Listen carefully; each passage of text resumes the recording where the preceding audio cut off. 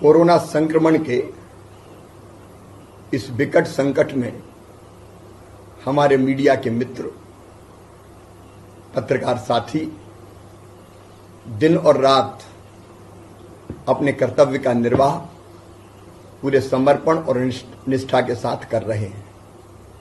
हमने ये देखा कि जनता तक जानकारियाँ पहुंचाते पहुंचाते, अपने पत्रकारिता के धर्म का निर्वाह करते करते कई हमारे पत्रकार साथी भी संक्रमित हुए और कुछ का दुखद स्वर्गवास भी हो गया। इस समय ज़रूरी है कि ऐसे सभी मित्रों का, जो कोविड की बीमारी से संक्रमित होते हैं, उनका इलाज ठीक ढंग से हो जाए।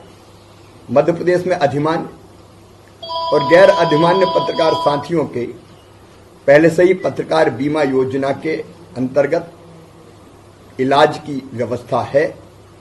पत्रकार कल्याण योजना में भी उनको सहायता दी जा रही है। शासकीय अस्पताल और अनुबंधित अस्पतालों में भी इलाज की सुविधा है।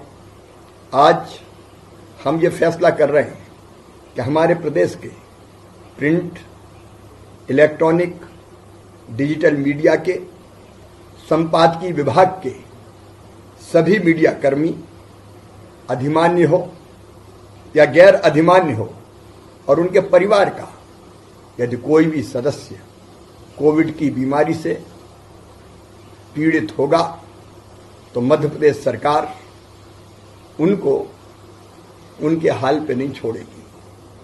उनका पूरा इलाज करवाया जाएगा ताकि वो अपने कर्तव्य का निर्वाह भी कर सकें और अगर कोविड से वो या परिवार का कोई सदस्य पीड़ित होता है तो उनका बेहतर इलाज किया जा सके।